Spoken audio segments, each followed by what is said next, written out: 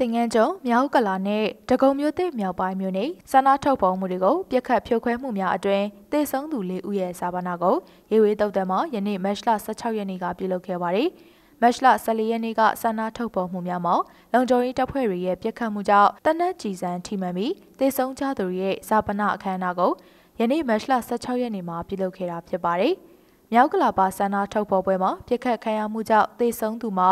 ထောက်ဝင်မဲ့ရက်ကွက် မြဥယင်စိုက်ပျိုးရေးချံခိုင်ရွှေဝါလမ်းမှာနေထိုင်တဲ့အသက်20အရွယ်ကောင်းကောင်းခေါ်မောက်ကောင်းပြည့်စုံဖြစ်ပြီးညရတနာလန်ညတပိတ်မှာလုံခြုံရေးတပ်ဖွဲ့တွေရဲ့ပြက်ခတ်ဖြုတ်ခွင်းမှုကြောင့်တနက်တန်ရာနဲ့တေဆုံးခဲ့တာဖြစ်ပါတယ်။ဒါပြင်တင်ငန်းကျွန်းမြို့နယ်လူလူဆန္ဒထုတ်ပေါ်မှုတွေမှာလုံခြုံရေးတပ်ဖွဲ့တွေရဲ့ပြက်ခတ်ဖြိုခွဲမှုကြောင့်တေဆုံးခဲ့ကြရတဲ့အသက်25နှစ်အရွယ်မောက်ချစ်ကိုကိုဖြုတ်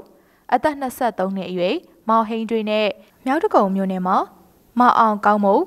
ကိုနာရဲကျော်တို့ရဲ့ဇာပနာအခမ်းအနားများကိုလည်းပြုလုပ်ခဲ့ပါတယ်။မောင်ချစ်ကိုကိုဖြုတ်အသက်25နှစ်